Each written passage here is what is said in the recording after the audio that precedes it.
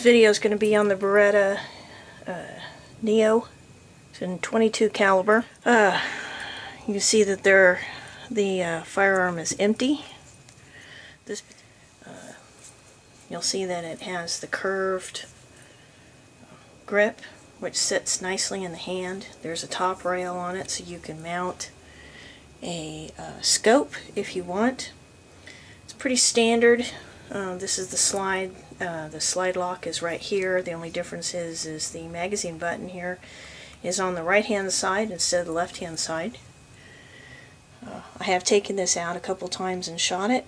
It shoots like a dream. It's very accurate.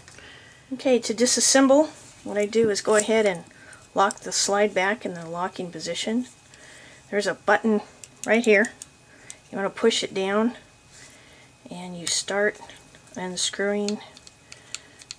And it's going to take a little bit, the wheel, and what it's going to do is release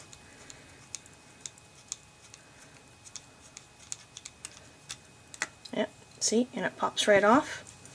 And then very carefully hanging on to this, pull, slide down, and it'll slide right off. And there's your spring. It's that easy to take apart. Very simple. Okay, so you want to be real careful here because this is the firing pin. Uh, this portion right here does not come off, so to clean, I just clean a little bit right around here. This is the actual slide, so I'll clean it, oil it lightly. This uh, firearm does not take very much oil.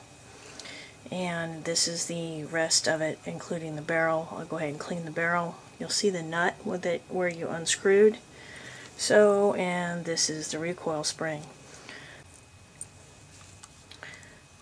Slide the spring in.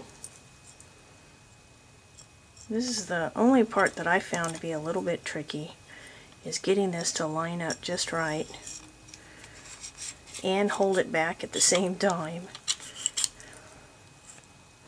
There we go. See, I put the slide in the locking position. The screw goes right here in this little hole. You want to make sure that the uh, wheel is where it belongs.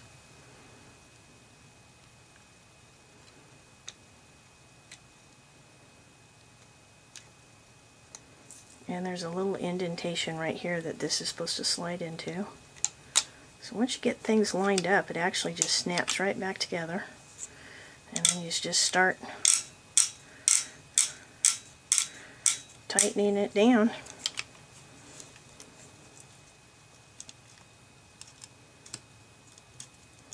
And screw it back together.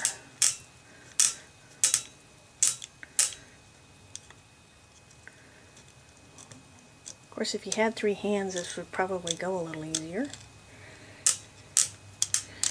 Now, of course, you want to make sure you get it tightened good, because if you don't, this barrel is basically the only thing hanging on to it is this right here and right here. So if you don't get this down tight, you're going to fire it and it's going to misfeed.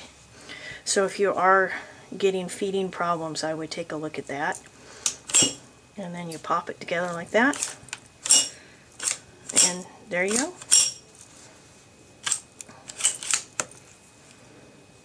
It's all put back together.